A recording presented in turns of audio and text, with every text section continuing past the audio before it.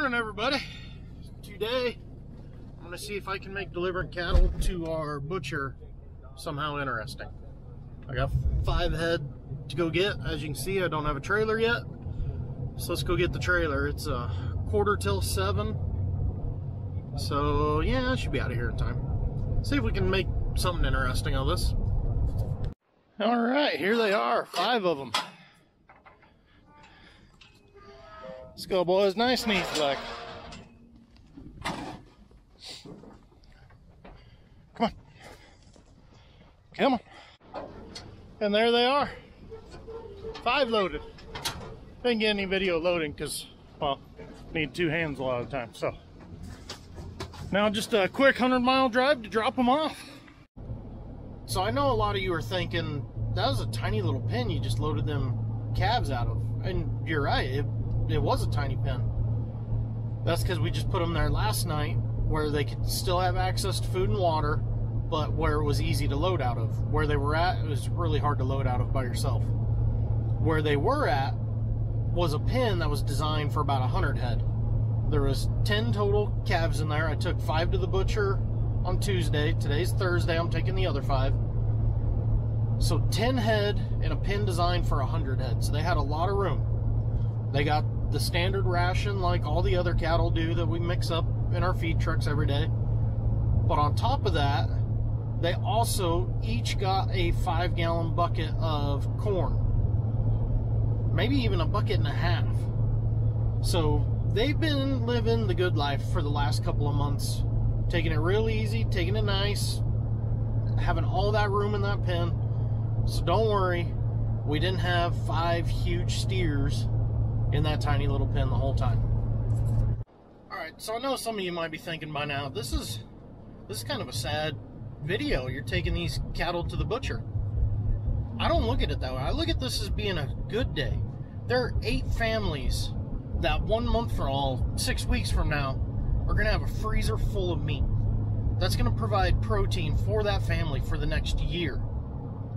And with all this pandemic stuff going on and the people panic buying and all of that craziness, these people have peace of mind knowing I have a locally sourced beef in my freezer to provide for us while everyone is panic buying at Walmart or Sam's Club or Safeway or King Supers or whatever the grocery stores are called in your state because I know every state is different other than Walmart. These families have that peace of mind knowing I don't have to worry about beef. I don't have to worry that the beef is going to sell out and I'm going to have to buy one of the substitute products that's grown in a lab full of all kinds of different chemicals.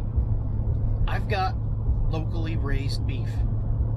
And that is one hell of a thing to me. So, another little tidbit I wanted to add in here. If you think animal agriculture is inhumane, but you're one of the Colorado residents that just voted to willingly bring a wolf pack into the state, I don't want to hear anything from you about how inhumane we are. Because if you just voted to reintroduce the wolves into Colorado, which is a redundant question, anyways, because it's been proven we already have a wolf pack in Colorado. There have been kills on livestock confirmed by veterinarians that they are wolf kills. But the state of Colorado just voted, let's bring more wolves in.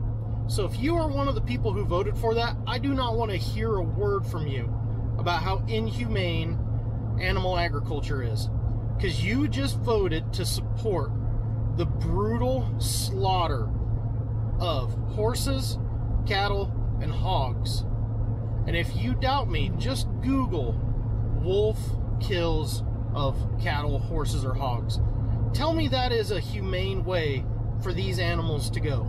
At least going to the butcher or a meat plant, it is over quickly. They don't feel anything. Temple Grandin has spent her whole life designing these things to make it as humane and painless as possible. And yet Colorado just voted to bring wolves in.